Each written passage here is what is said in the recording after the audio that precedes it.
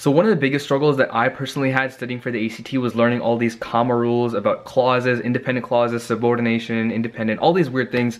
So this video aims to put all of that, package it into one short guide and make it as simple as possible. Comma rules are not that bad. It's just that the way they're taught, it seems like a lot of things are contradicting uh, each other and it, it gets kind of messy. So this video is pretty short. It goes over independent clauses, dependent clauses, a number of other things that you will see in a little bit. Before we get to that, just wanted to mention that we have six free practice exams linked below if you need those. We also have courses and tutoring with me on our website and be sure to subscribe if you want to see more weekly content like this. All right, there's three different things I'm going to do in this part of the video. First, we're going to go over clause types, independent versus dependent, and why it's important to know this.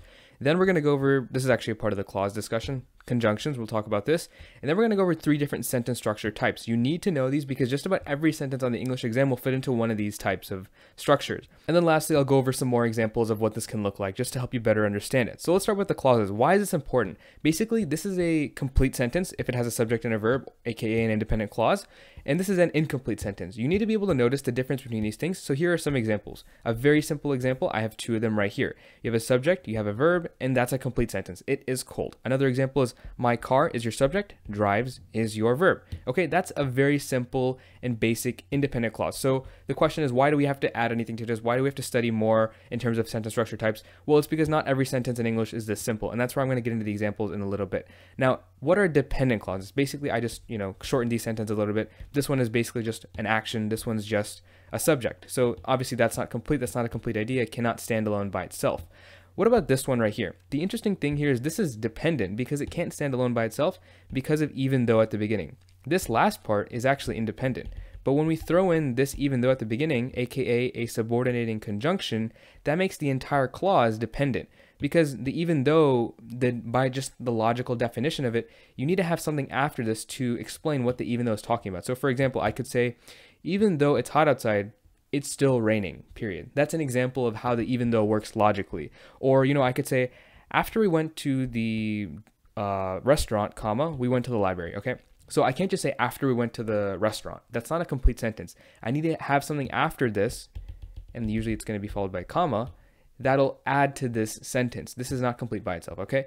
Now, these are just some examples right here of what the subordinating conjunctions like even though can look like. If you have, again, the point here is if you have one of these words at the beginning of a sentence and it's in this kind of structure, it's very likely that it'll be a dependent clause, this clause specifically. So you need to have something after this clause to complete the sentence. Okay, that's the main message here. All right, so this part of the video is what you really need to know, and that's why you're here. There are three different sentence structure types that just about every sentence will fit into. There's one where you have a dependent clause, comma, and then you follow that with an independent clause. I have an example, I'll explain in a second. Another where you basically flip that, you have a dependent after, and then here you have an independent clause with an interjection.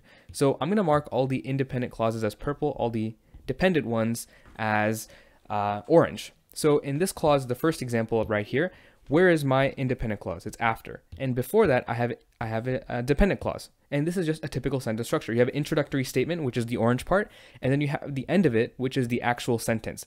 This part is disposable. You don't need it, okay? But it's just it's just there to add meaning. And a lot of the times in English sentences, you will have introductory statements. I'm use I've probably used dozens of them in this video as I'm talking already. So this structure of purple or sorry, orange comma purple, if you want to remember this way, is one sentence structure type. Okay, the color coding will help you remember this. So remember the color coding.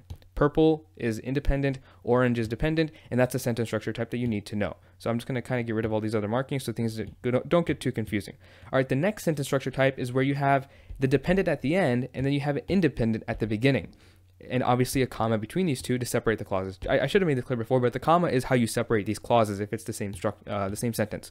It's the same exact thing. Notice how I literally just flipped the script. I literally just took this one and instead of putting it at the beginning, like I did here, I just moved it to the end, and it still applies. It's perfectly fine. It's still raining, comma, even though it's hot outside. This is not standalone and it cannot stand alone by itself. This part is a complete sentence and it can stand alone by itself. Here we don't have an introductory statement, but we have a conclusive statement that's adding that extra detail. Again, the ex the point of this is just add is just to add extra detail. It's not actually 100% necessary. You could get rid of this and the sentence would be perfectly fine, okay? So that's how that one works. Last of the three is where you have a complete sentence like it is raining outside and then I throw in an interjection. You might have different teachers call this different things. You could call it a comma sandwich. Um, interjection is like the most common way, the technical way to say it. But basically, you take your sentence, which is a independent clause by itself. I should mark that as purple.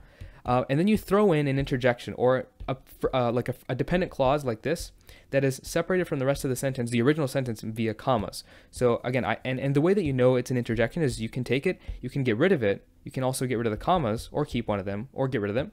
And you can see that the sentence is perfectly fine and it makes sense as an independent clause by itself. So it is raining outside. That's perfectly fine. It's the same as the original. But what I just did is I just threw in a meaningful, logical, dependent clause, or in essence, just this word, adverb, right here for extra detail. It is surprisingly raining outside. You can, and again, the whole point of an interjection is you can get rid of it and the sentence makes sense by itself. You can also separate it with dashes instead of commas. Um, that's something that you'll see as well.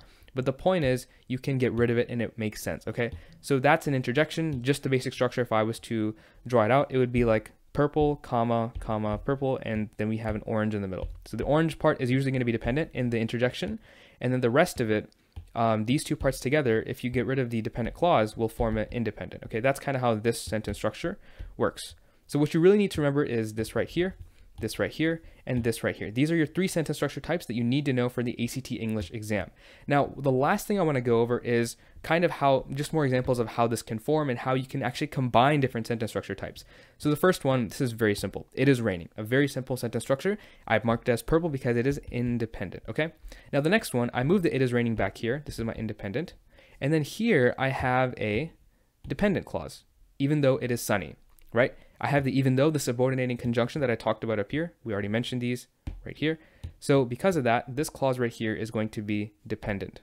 Okay, so this is a, one of the sentence structure types. It's actually the first one that we talked about. Now we have this third one right here. We see that the beginning is the same. We have a dependent clause, then we have our independent clause right here, and then we have this extra clause at the end, which is dependent, which surprises me that cannot stand alone by itself unless it's a question, which it is not. So what am I doing here? Well, this part right here looks like the first form that we discussed, right? It looks like this one. The second part right here looks like the second form that we discussed. It looks like this.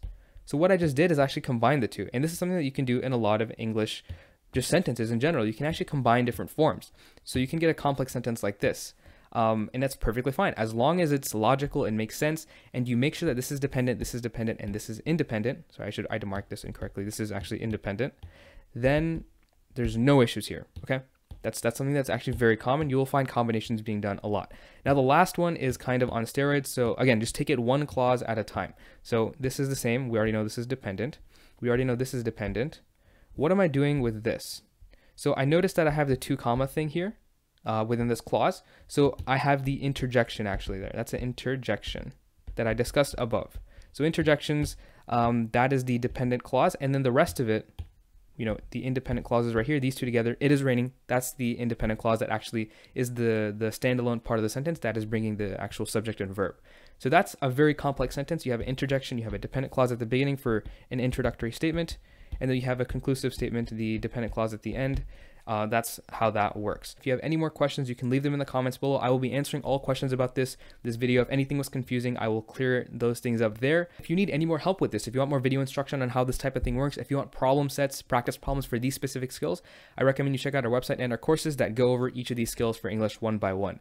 Uh, apart from that, that's it for me. Best of luck prepping, and let me know your questions in the comments below. Bye.